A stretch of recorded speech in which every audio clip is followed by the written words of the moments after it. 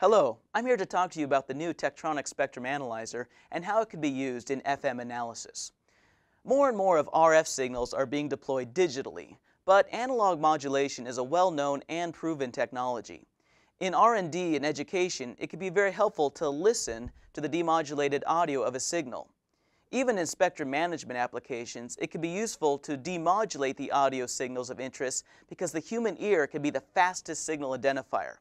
In the case of spectrum management, an operator may listen to a digitally modulated signal of interest and recognize that signal as a particular kind of modulation. Here, we will stick to the basic demodulation of an FM radio broadcast. We start with the instrument in a preset condition. We want to look at the FM radio band, so we can tune the instrument to 100 megahertz to see this band. We will need to reduce the reference level to ensure that we make sure the signals are viewable on the screen. Next, we'll do a peak search with the marker and make the marker frequency the center frequency of the analyzer. We see the audio control on the upper middle of the front panel, so we'll activate that feature now. This makes the settings appear for audio, where we can set the modulation bandwidth to 200 kilohertz for FM radio, and you can see the other bandwidth settings here. And then we can activate the audio output.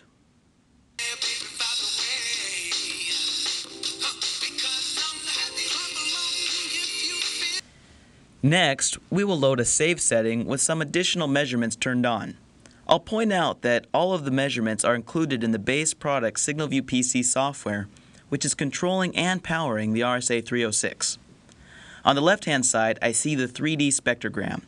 This is obviously a 3D display of the spectrum history over time, with the most recent spectrums in front and the older spectrums in the back.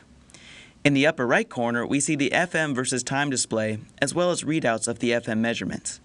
In the lower right corner, we see the spectrum display, this corresponds to one time slice of the spectrogram display. The pink plane shown on the spectrogram indicates the modulation frequency and bandwidth. This corresponds to the pink line on the spectrum display. This is an interesting feature that lets you analyze any signal that's captured within that 40 megahertz band capture bandwidth of the analyzer. This is a helpful view that shows how further analysis of FM signals are possible, as you can see, the SignalVu-PC software, you're not limited by modes or different pieces of software. Rather, you have a full benchtop capability available for use with the RSA 306 USB Spectrum Analyzer. Thank you for taking time to learn about this USB Spectrum Analyzer. There's much more to learn about here, like the vector signal analysis, the full-featured spectrum analysis, and the signal recording capability. More information can be found at www.tek.com slash RSA306.